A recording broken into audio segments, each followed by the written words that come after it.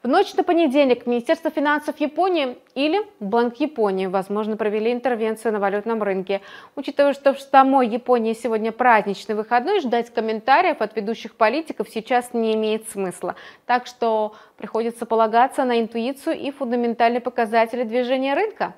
Первым и главным признаком японской интервенции на Форексе стало движение валютной пары доллар-иена. В то же время в плане каких-то важных экономических данных понедельник представляет собой очень спокойное начало недели.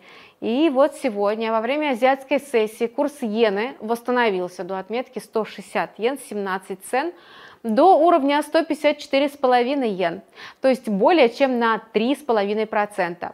На фоне такого резкого снижения графика пары начался волновой эффект, который ослабил доллар по всему направлению.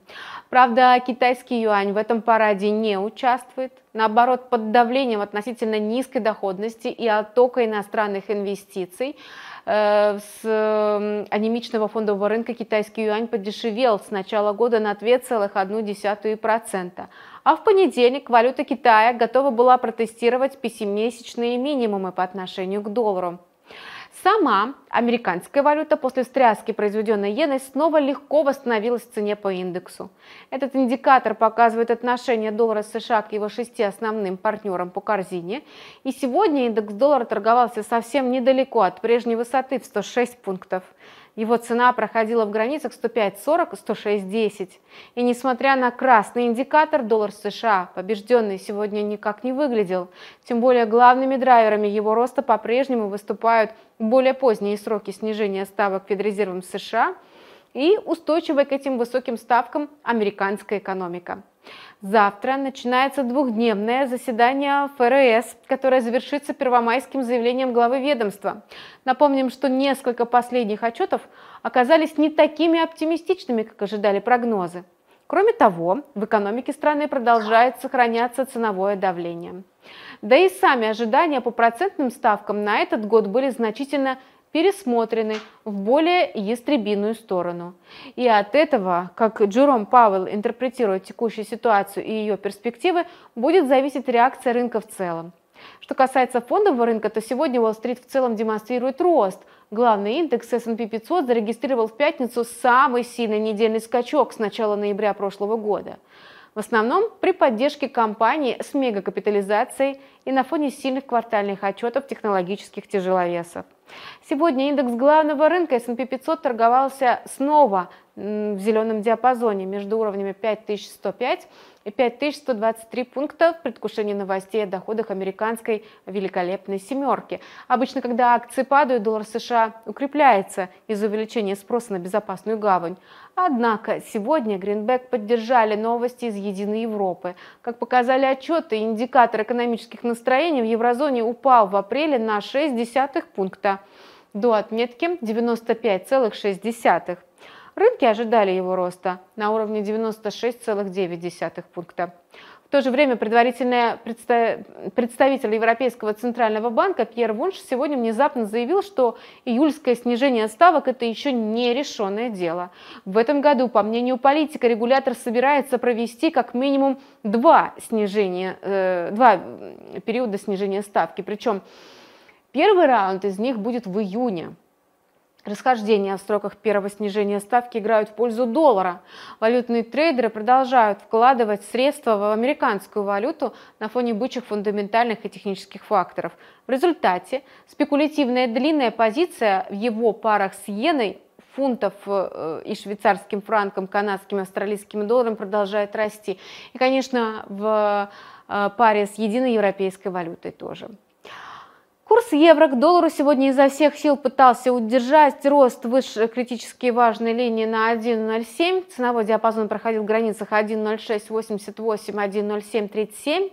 Однако пара проявляет осторожность в ожидании выхода ключевого экономических отчетов в еврозоне, предварительных данных по ВВП за первый квартал и индекса потребительских цен за апрель. Они будут опубликованы во вторник. А сегодня предварительные данные Германии по инфляции за апрель оказались неоднозначными. Например, годовой базовый индекс потребительских цен, учитывающий волатильные цены на продукты питания и энергоносители, остался на прежнем уровне 2,2%. то время как экономисты прогнозировали его более высокие показатели – до 2,3%. Как видим, пока доллар пытается противостоять укрепившейся иене и неоднозначной реакции евро на поступившую статистику, спотовое золото постепенно прибавляет и прибавляет в цене. Сегодня ее бычий сценарий развивался внутри диапазона 2331 и 2356 долларов за унцию.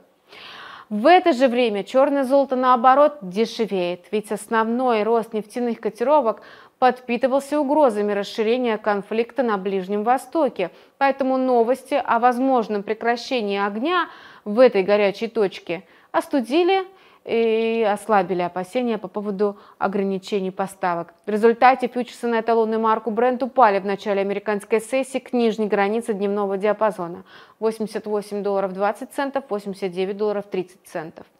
Напомним, за прошлую неделю нефть подорожала более чем на 2%, а ее укорененное падение в понедельник на снижение геополитических рисков говорит о том, что котировки черного золота по-прежнему реагируют в первую очередь на новостной фон и только затем на фундаментальные факторы рынка. Для рубля, похоже, на рынке сложилась какая-то своя альтернатива. И она связана в первую очередь с позицией Банка России, которым, похоже, нужен более слабый рубль. Поэтому, в отличие от регулятора Японии, финансовые власти России никаких интервенций на валютном рынке проводить не намерены.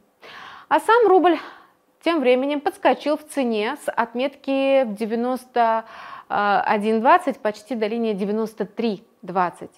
Причем по времени это ралли курса рубля проходило примерно тогда, когда иена укреплялась, а доллар США падал. В любом случае, рубль сегодня почти весь торговый день консолидировался в диапазоне, который был на порядок выше уровня закрытия пятницы. В силу того, что в России 29 и 30 апреля официально объявлены выходными днями, это могло стать основными причинами умеренного снижения курса рубля. Кроме того, бычий сценарий в паре доллар-рубль поддерживает падение нефтяных котировок и пониженная активность продавцов валютной выручки – также негативно на настроение трейдеров влияют перспективы снижения спроса на нефть и прогнозы по снижению ставок в США. На этом наш обзор торговой среды, э, извините, на этом наш обзор торгового понедельника завершен. А мы тем временем продолжаем следить за ситуацией, чтобы вы всегда оставались в курсе актуальных событий. Не забывайте подписываться на канал и комментировать это видео. До новых подключений.